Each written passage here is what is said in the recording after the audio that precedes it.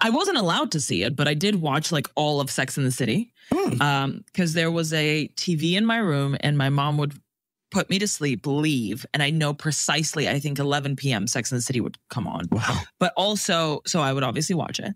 And I didn't understand most of it. Yeah. And also because it was like terrestrial Russian television, Yes. it was so heavily edited.